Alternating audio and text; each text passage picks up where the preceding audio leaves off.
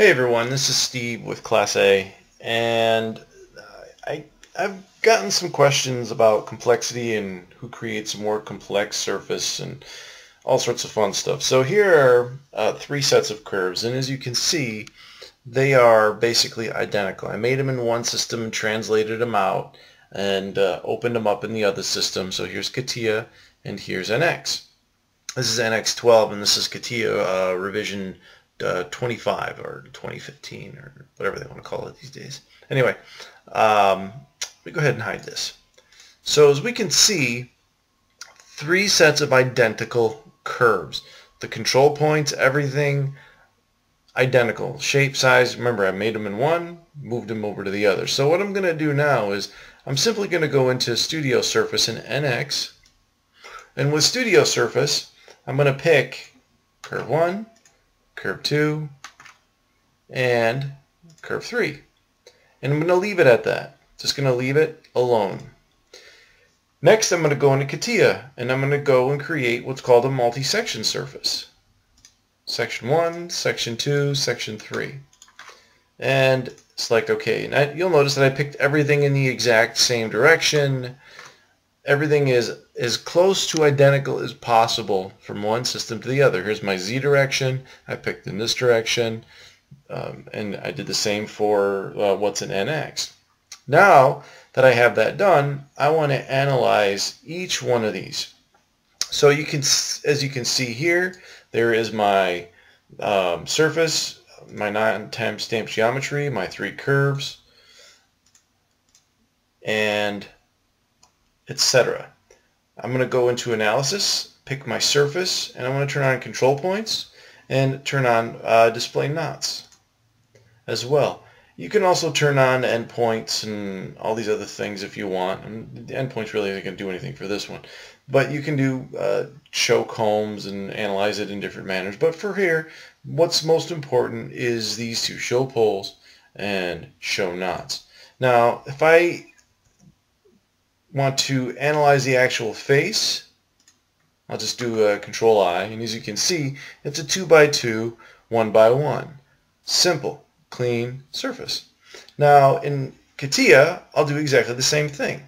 I want to go into my insert analysis, apply my dress up, pick my surface, show my poles and segmentation, and OK. And as you can see, it seems to have created a slightly more complex surface. That seems it has. Now, if I come in here and insert analysis, geometric information, pick that surface, you can see it's a 6x4, 1 by 1 singular patch, but is a 6x4. Now, if I look at the uh, uh, model out of NX, and I go into my, set, my settings and I go into tolerance, you can see I have a uh, 0004 positional tolerance. And what I'm going to do is I'm going to mimic that in CATIA. I'm going to double click on this, turn on deviation, and see if I get a change in the surface. And as you can see, there's my smoothing deviation. I have no change in the surface. So it's created a bit more of a complex surface in CATIA.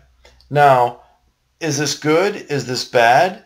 It, it it's it's all um, it's all based off of your need. It's not good. It's not bad. Um, it's just what the system does and what your need is. Now, for for instance, once I've created that multi-section surface in CATIA, if I go into, let's say, freestyle, and I want to modify these control points, pick my surface, it's going to say I can't because it's a NURBS surface. So if I start moving this around, uh, let me go normal, doing stuff like this, right, it's going to create a different surface for me to work with. It's not the same original surface. So there's a break in the parametricity or there was a break in history there. So now what I'm going to do is go back into NX, go into surface, and go into X form. Pick my surface, and once I have that, the direction I want to move in, you can see now I can move this around and it's the original surface that gets modified. So NX in essence, is creating a simpler surface, but it also has tools that allow me to manipulate the surface that has parameters to go back and manipulate it parametrically and I don't lose the history. So if you look here, there's my X form.